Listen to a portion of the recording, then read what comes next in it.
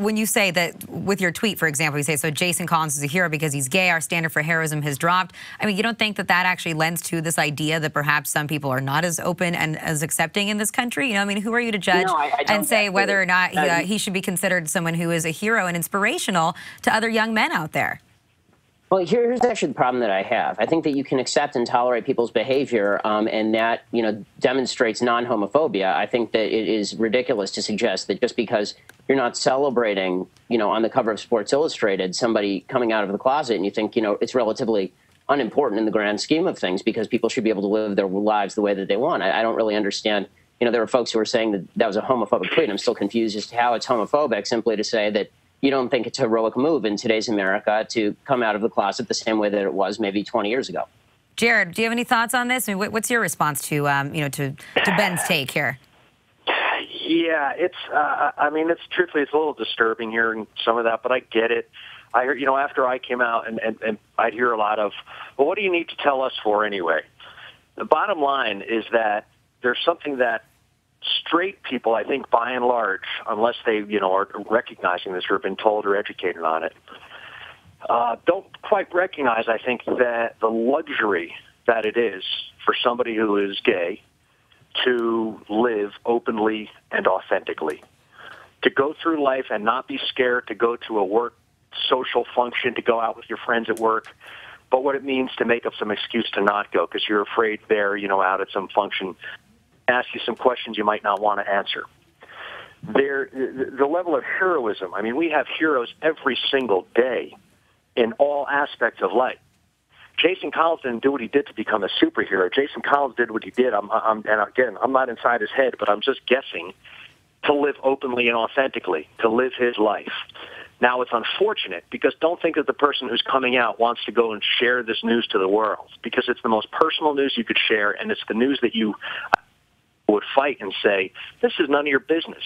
But at some point, you, we live in a world, you're a public figure, you want to live your life. Well, at some point, someone says, you know what? That's enough. I'm going to live my life. You have a problem with it? That's not my problem.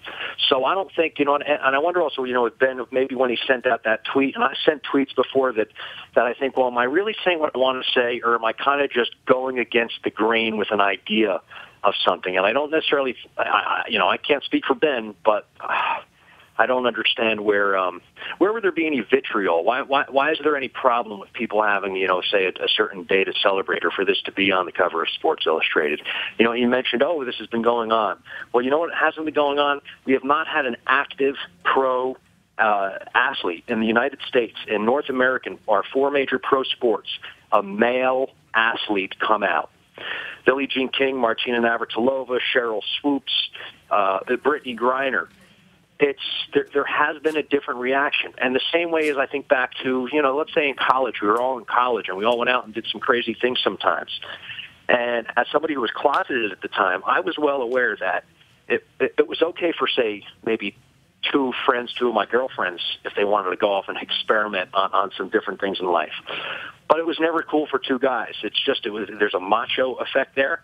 We've gone several years since then and I think it's okay now for it's it's not that weird uh, for for uh, even a professional basketball player to say, "Yeah, I'm gay." Uh-huh. well, let's let let's let Ben respond. I mean, Ben, do you have anything to say to that as to uh, you know what Jared? No, I, I, totally agree with a lot of that. I mean, I, I, I especially agree with the, with what he said at the very end, where he says that you know it's not that strange anymore for folks to be gay, and that's why I think that it's a mistake for the media to portray it as though this is some groundbreaking moment when the truth is there is ben, no resistance ben, here. Ben, there is nobody who is really coming out and say, I have yet to hear the response saying, really saying, that Jason Collins should not have come out of the closet. I'm, I'm still, uh, no one has said that. And, but the thing so, is, Ben, uh, you have to realize. let me, triumph. I'm wondering why. Let me let me read a, a comment. A comment from one of our viewers. This one's from the Norwegian 76, who says, "This is the Republican way to deal with social issues. Pretend that they do not exist." And I think that he does have a little bit of a point there, in that there still is a lot of bigotry in this country. We still have laws on the books that deny people equal rights when it comes to uh, the right to be able to visit their loved ones in the hospital, the right to be able to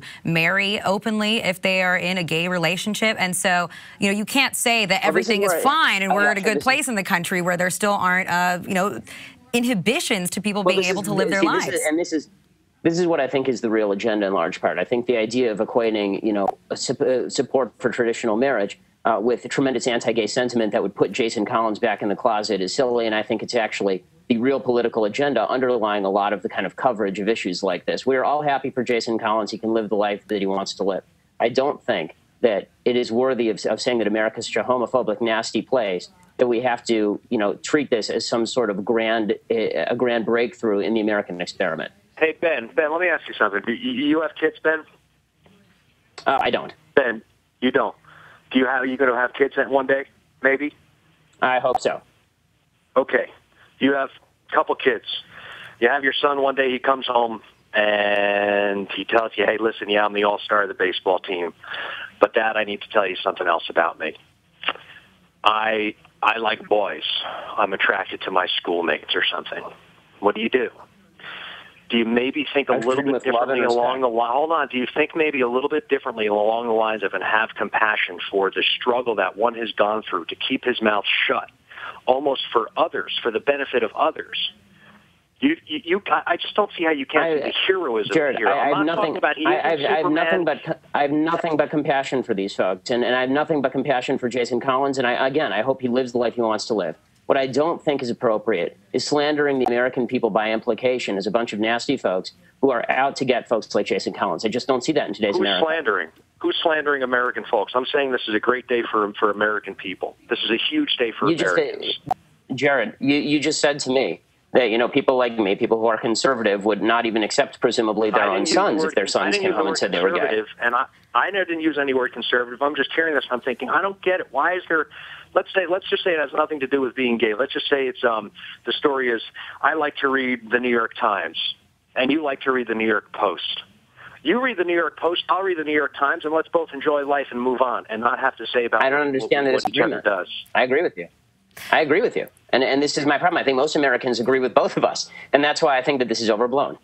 All right, let me just. Uh, we're gonna have to wrap it up here in a moment. But Ben, let me just ask you too. So uh, I have one tweet here that was in response to your original tweet uh, that says, "But for real, Ben Shapiro, it's a shame you couldn't have been gunned down." On D-Day. Oh no! That's oh no! Have, no. Have you gotten a lot of responses like this? Oh sure. I mean, tolerance. You know, I would I would prefer to see it run both ways. Uh, that's there's there's no room for that. It's disgusting.